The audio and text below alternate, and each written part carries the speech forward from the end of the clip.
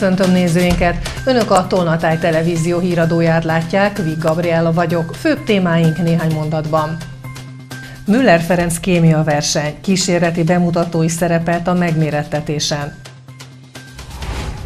A mindenmentesség a motto, Kolbásztöltő Fesztivál Majoson.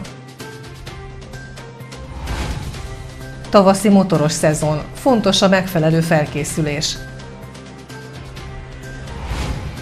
Nőnapi kavalkád, csajos cuccok a nőiesség kiteljesedése.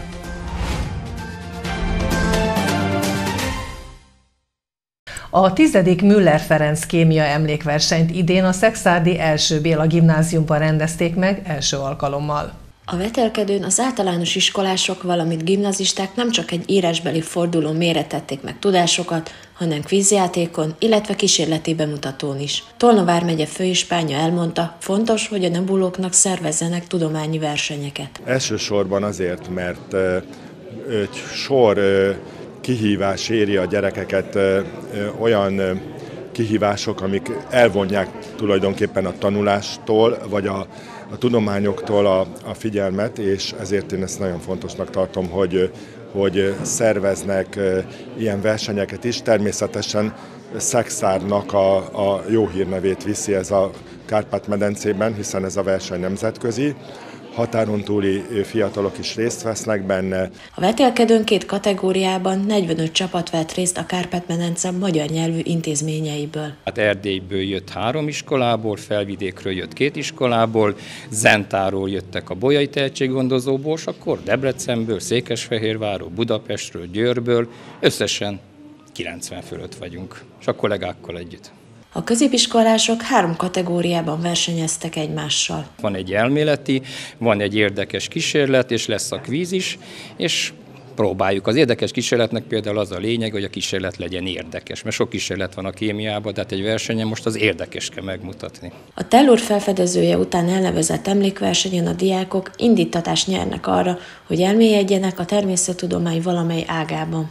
Érdekes laboratóriumi kísérleteket eh, mutatnak be a diákok, és ezeket eh, a kísérleteket eh, pontozza le egy nagyon neves zsűri, aki a, a Magyarország Magyarországi Tudományegyetemek eh, eh, kémia professzoraiból áll, és vagy pedig valamilyen kutatócégnek a, a képviselőiből, tehát gyakorlatilag itt csupa olyan ember találkozik, aki valamilyen természettudományhoz, de legfőképp a kémiához eh, nagyon erősen kötődik. A diákkorban megszerzett tapasztalat és tudás meghatározzák az ember életútját, a tanárok arra törekednek, hogy átadják ezt a fiatalok számára. A negyedik Majosi Kolbásztöltő Fesztiválon jártunk. A civilek által alapított nagyszabású verseny mottója a mindenmentesség lett. Március másodikán a Majosi sportpályán több százan mérték össze kolbásztöltő tudásukat. Fábián István ötlete alapján testvérével, Fábián Katával és sok segítővel szervezik immár a negyedik alkalommal az eseményt. Mi az, amit meg tudnánk fogalmazni a Majosi Kolbász Töltő Fesztivál céljaként, vagy mondandójaként, mottójaként, ami rövid, tömör, frappáns, de mégis mindent tartalmaz, ami, ami minket vezérel ennek a rendezvénynek a megszervezésekor és az idei évre jutottunk el oda a negyedik alkalomra, hogy megszületett ez a mottónk, ami pedig az összetartozás mindenmentesen. És ez alatt pedig azt értjük, hogy mindenmentesen, mint országhatármentesen, mint faluhatármentesen, mint politikamentesen, mint bármilyen hovatartozásmentesen egyrészt, másfelől pedig tej, szója és ízfokozó mentesen. Nem csak a kolbász íze, külleme és sütési módja alapján dől el, melyik a legjobb. A zsűri több szempont alapján pontoz, mint például a higiénia, a csapat egységes kinézete, asztaldíszítés, a tálalás minősége. Engem fölkért a Fábián ist és a szervező csapata, hogy a zsűriének a tagja legyek. Hát ez azért van, mert nagyon szeretem a kolbászt. A tavalyi évben részt vettem a rendezvényükön, mint zsűri, és akkor ugye ez automatikusan értetődő volt, hogy akkor idén is fölkértek rá. A zombaiak is szép számmal képviselték magukat. A fogy, fogy, fogyasztónak kellemes legyen, utána többi az nem számít. Tehát eredmény nem lényeg, maga a versenyszellem, meg a barátság. A lengyel majosi töltel ékek már a jövő évi szettjüket tervezik. Most úgy készültünk, hogy összeült a kis csapat, és nyolc fajta mintát volt, és akkor ki mit gondolt, kisütöttük, megkóstoltuk, és akkor a nyolcban most hárommal indulunk. Próbálkozunk a mexikói mintával, csilivel, angolosan, minden. Pálinkást is Pálinkást is próbáltuk. Na meglátjuk, mi lesz a nyerő.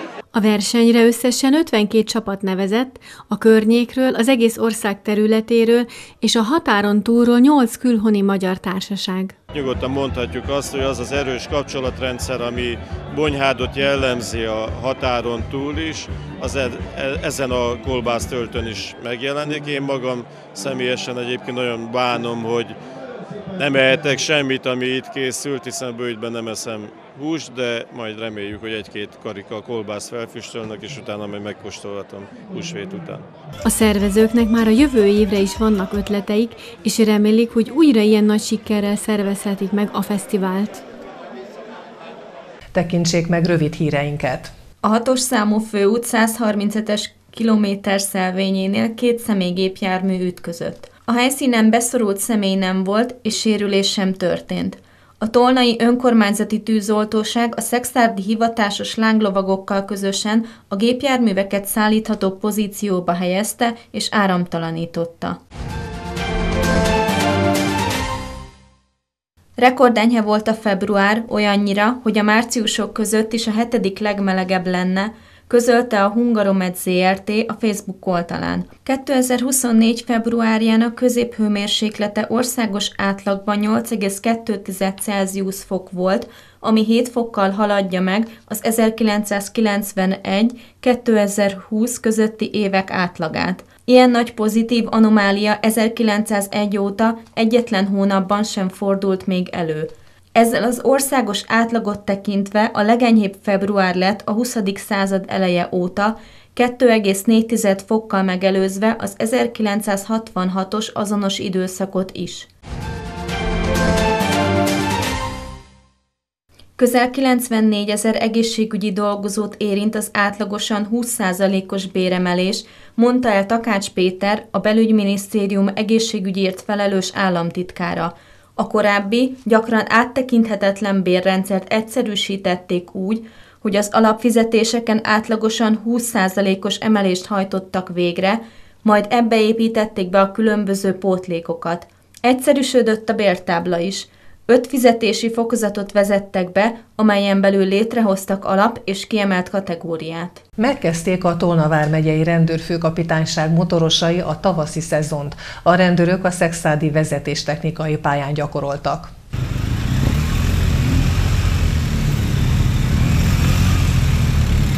A motoros rendőrök a napot a járművek műszaki karbantartásával kezdték meg. A gyakorlás célja az volt, hogy a hatóságok a mindennapi ellenőrzésekre felkészüljenek. Nagyon fontos elmondani azt, hogy a motoros szezon kezdetén minden járművezetőnek nagyon fontos ugyanezt a feladatot végrehajtani, hiszen nagyon fontos az, hogy megfelelő műszaki paraméterekkel rendelkező motorral induljunk az utunknak, illetve azt is, hogy mi is legyünk felkészülve arra, hogy a motoros szezon kezdetén megfelelően tudjunk közlekedni.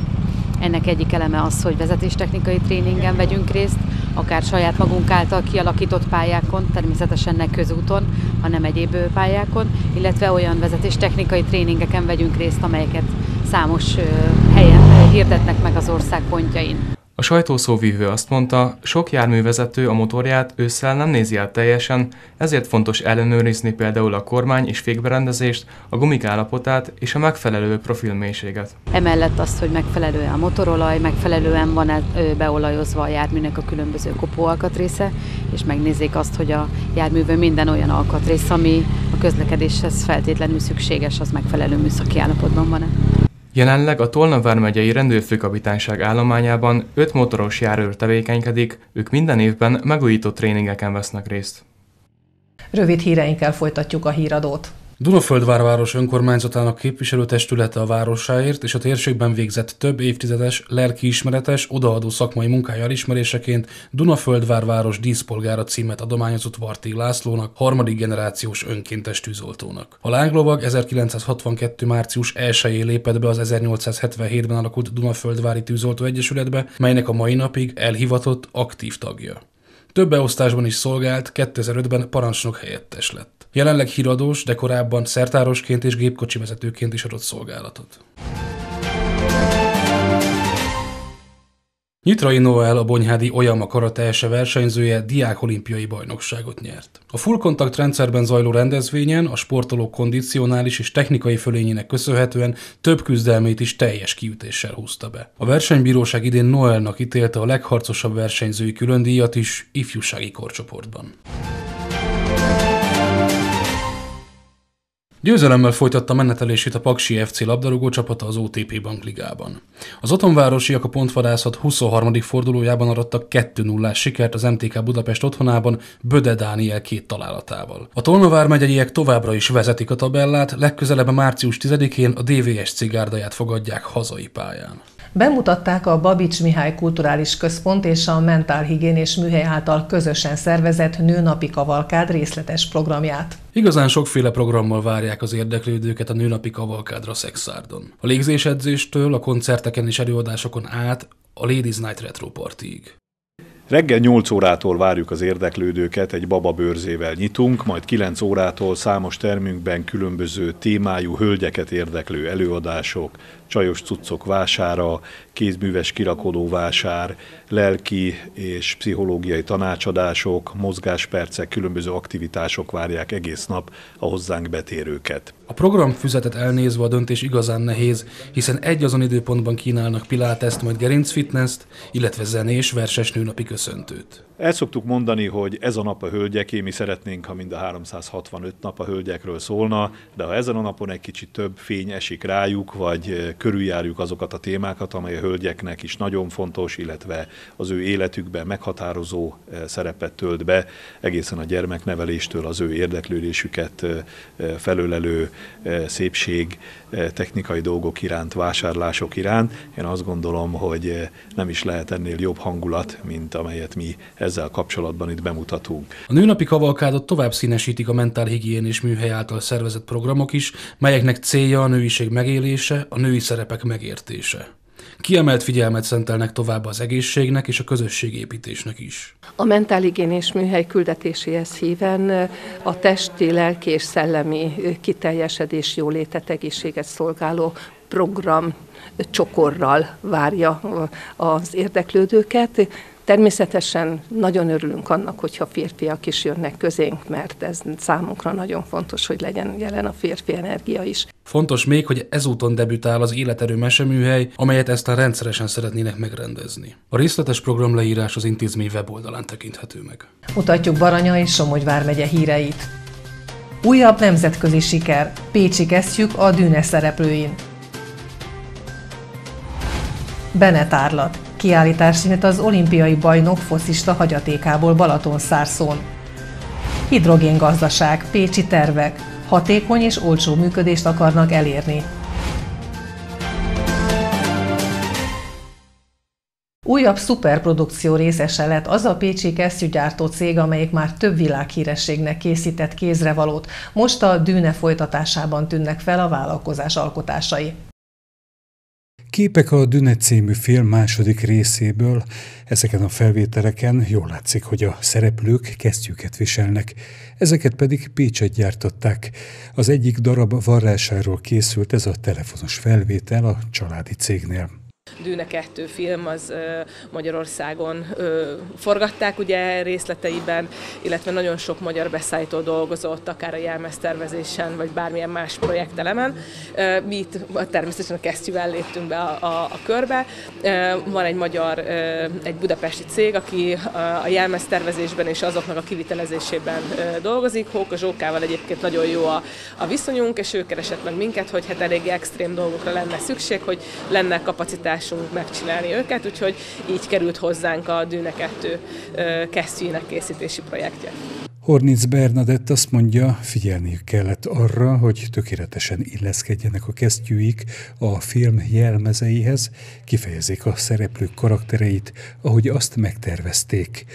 Ők új kesztyűket vartak, amit aztán lekezeltek a jelmeztervezők, hogy használtaknak tűnjenek. A film első részében szereplő jelmezekhez hasonlóakat használtak, úgyhogy mi igazából még alapanyagot is kaptunk, a textil alapanyagok, azok ugyanazok az alapanyagok lettek bedolgozva, ami egyébként a ruházatban is benne van. Ez jelentett azért némi technológiai kihívást a csapatnak. A jelmeztervezők nagyon meg voltak elégedve, nagyon örültünk, mert igazából az első minta átment a szűrőn, és onnantól kezdve pedig már csak a tömeggyártás, mert ugye azért ebből elég sok kesztyű készült, hiszen a, a harcos tömegjeleneteknél azért elég sok embernek volt szüksége a kesztyűre, és nagyjából mindenhol, tehát a főszereplők is ezt, ezeket a kesztyüket viselik, úgyhogy a filmvásznon mindenhol meglát, megtalálhatóak a kesztyűk. A vállalkozásnak ez már a sokadik filmes, vagy éppen a világ színpadára álmodott produkciós felkérése. Legutóbb az amerikai foci nagy döntőjén, vagyis a Super Bowl-on fellépő táncosoknak készítettek például kesztyűket. Nagyon sokféle produkcióhoz dolgozunk, nem minden kap ekkora promóciót, mint mondjuk most például a, a Dűne, vagy éppen a Super Bowl. Ez mindig attól függ, hogy milyen szerződést kötünk az éppen a adott produkcióval, mi az ő kérésük mi felénk, mi, az, amit megengedhetünk kommunikációban, mi az, amit nem, ezeknek megvannak a feltételei, és egyébként nagyon sok olyan filmet tudnék mondani, ami lehet, hogy meglepődnének, hogy abban is a mi termékeink vannak, Úgyhogy ez nem egy új keletű dolog, és ezt mi szeretjük is csinálni, hiszen a kollégáknak is egy kis kimozgás. Most egyébként tervezzük azt, hogy mi is elmegyünk, együtt megnézzük a moziba a Dűne filmet, hogy tényleg a nagy mozivászon láthassák a saját munkájukat. Sikerük titka, hogy kiváló szakemberek dolgoznak a cégnél, akik, ha kell, áldozatot is hoznak. Például volt, hogy a rövid határidő miatt hétvégén is dolgoztak úgy, hogy segítették egymást a munkában, például a varrásnál. A manufaktúra rugalmassága előnyt jelent, amit a nemzetközi megrendelések, elismerések igazolnak, mondja a cégvezető. Bene Ferenc olimpiai bajnok labdarúgó halálának évfordulóján nyílt meg a Puskás Intézet Balatonszárszói kiállítása, ahol érmek, kupák, mezek és régi fotók is megtekinthetőek. Bene Ferencet a gyökerei Somogy vármegyéhez kötik, ezért nem volt kérdéses az, hogy a Puskás Intézet jóvoltából helyet adunk ennek a kiállításnak. Legyen szó kulturális vagy sport témájú kiállításról. Ez immár a harmadik olyan rendezvény, amelyet a Puskás Intézet és Balatonszászó önkormányzata közösen szervez. Szeretjük a sportot, szeretjük a kultúrát, támogatjuk, és azt ezért kíváncsian várjuk, hogy a Puskás Intézetnek még mi lapul a tarsójában, mi lehet a következő projekt. Nyilván van nekünk egy Kislászlónk, van egy Burcsagyőzőnk, van egy közelmúltban egy nem anya Nikolicsunk, de ha az eredményeket, a számokat nézzük, hogy 1461 mérkőzésen 1416 gól, majdnem egy egészes gólátlag, 76 válogatott mérkőzésen 36 gól, olimpiai bajnoki cím, ö, gólkirályi cím a magyar bajnokságban, tehát olyan eredményeket ért el, amit a mai napig nem sikerült senkinek utolérni, ezért vagyunk arra büszkék, hogy Mene Ferenc itt Somogy megyében Balatonújlakon született, és Marcaliban és Kaposváron is pallérozódott, mielőtt az, Újpestbe került volna, ahol ezeket a nagy eredményeket elérte, és miért van erre szükség, hogy ezeket most megnézzük és felelevenítsük? Hát nem csak azért, hogy mi itt nosztalgiázunk, hanem azért, hogy a gyerekeknek legyen egy példakép, legyen valaki, akire föl tudnak nézni. Megegyeztünk abban, hogy igen, ezt nem ott kell tartani, hanem tényleg be kell mutatni majd, mert olyan relikviákat, erekéket őrzött meg, illetve nem volt meg minden, mert, mint elmondta édesapja, nem volt egy ilyen nagy gyűjtő, de Feri beszerezte ezeket, visszavásárolta a különböző gyűjtőktől, és mikor megtudták, hogy a fia keresi, akkor könnyebben hozzájutott ezekhez a dolgokhoz, mint hogyha mondjuk milicitáltunk volna valamilyen, bármilyen árverésen. Úgyhogy egy nagyon szép gyűjteményt adott át, amivel nincs más dolgunk tényleg csak ápolni. Hát nyilván most szegény nem lenne boldog, hogy az utódok így teljesítettek a derbin, hogy 5 0 kikaptak, de hát ilyen játékosok nincsenek most az Újpestben jelenleg, hogy más eredmény szülessen. Érdemes megnézni, amit már Főispán úr is mondott, ez a fantasztikus gólátlaga, hogy majdnem egy volt a gólátlaga, elképesztő, tehát ilyen csatárt nem tudom, hol lehet találni a világban, mert Cristiano Ronaldo ők sem tudják ezt megközelíteni. És hát nagyon sokáig játszott, mert ugye annak idején az átkos rendszerben nem engedték ki a játékosokat, ezt mindenki tudja 30 év alatt, Összefog a Pécsi Tetje Forrásház és a Város Egyeteme. A megállapodás szerint a hidrogén technológia alkalmazásával tennék hatékonyabbá a céges működést, illetve olcsóbbá a pécsi szolgáltatásokat. A tervek szerint az elképzelésekből egy-két év múlva már valóság lesz. Szennyvíz medencék, ahol baktériumok tisztítják meg a vizet a Tetje forrásház telephelyén. Ezek hatékonyságán segíthet egy együttműködés, amit a pécsi szolgáltató az egyetem hidrogén központjával kötött. A jelenleg ezekben a medencékben levegőt használnak. Ugye logikus, hogyha a levegőt azt oxigénre, tiszta oxigénre váltjuk ki, ami a vízbontás során keletkezik, akkor sokkal hatékonyabb lesz ez a víztisztítási folyamat, és kevesebb energiabefektetést igényel, hogy, hogy levegő helyett oxigént juttatnak le, és oxigénből kevesebbet kell értelemszerűen, mert ugye a levegőben található egyéb gázokat így nem jutatjuk be ezekbe a medencékbe, úgyhogy gyakorlatilag ezzel már egy energia hatékonyabb víztisztítást teszünk lehetővé. A telepen megtisztított víz bontásával nyertnek hidrogént és oxigént elektromos áram felhasználásával. Ez az oxigén, illetve a tisztítás során természetesen felszabaduló oxigén kerülne a medencékbe, a lebontást végző baktériumokat segítve ezzel. Ezt az oxigént, ami a víztisztítás során keletkezik, ezt nagyon sokszor ö, szimplán elengedik a levegőbe, és ö, nem foglalkoznak vele. Viszont, hogyha ezt helyben, ahol zöld hidrogént ö, állítunk elő, ott magát az oxigént is, ami tulajdonképpen melléktermékként keletkezik a folyamatban, fel tudjuk valami hasznos dologra használni, akkor ez nyilván ö, segíti magának a technológiának a megtérülését is, és ö, sokkal gazdaságosabbá válik. A vízbontásból előállított hidrogént is felhasználják majd a szakemberek, mondja a központ igazgató helyettese. Hát az elektrolízisből adódóan a hidrogén megkeletkezésére vonatkozó felhasználási folyamat ez már, ez már ismert. A technológia kiforrott, bár ott is nagyon sok kérdőjel van, és a központunknak ez is feladata, hogy ezeket a kérdőjeleket, ezeket megválaszolja. A hidrogén felhasználás egy tetjeforrásházas hidrogén termelés esetében a, a tömegközlekedésben és a logisztikában történő felhasználás. Vagyis a tervek szerint hidrogén üzemanyaggal működő buszok közlekedhetnek majd Pécsen. Erre már nem kell sokat várni a tervek szerint. Egy elektrolizáló berendezésnek a helyszínen történő telepítése és egy és egy üzemméretű kísérlet kialakítása az elkövetkezendő egy-két évben talán reális lehet.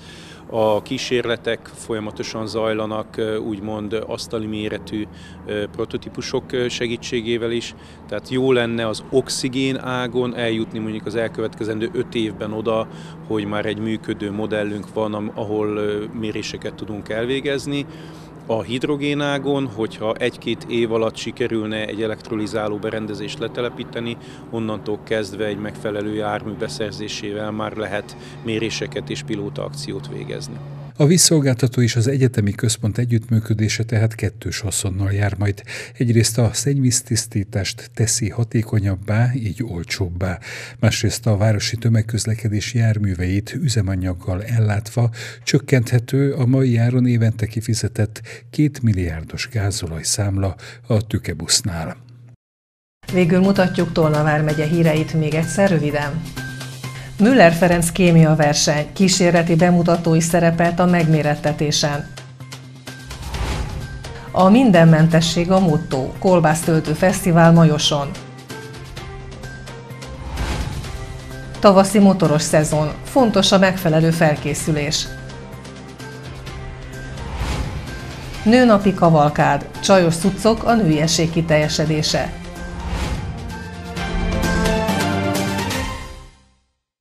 Kedden gyenge hidegfront alakítja az időjárás, gyenge vagy mérsékelt marad a légmozgás, zömmel napos idő várható, de elszórtan előfordulhatnak átmeneti záporok. Éjszaka említést érdemlő csapadék már sehol nem hullik, csillagfényes, nyugodt időre számíthatunk. Friss hírekkel legközelebb kedden este jelentkezünk. Már a köszönöm figyelmüket, viszontlátásra!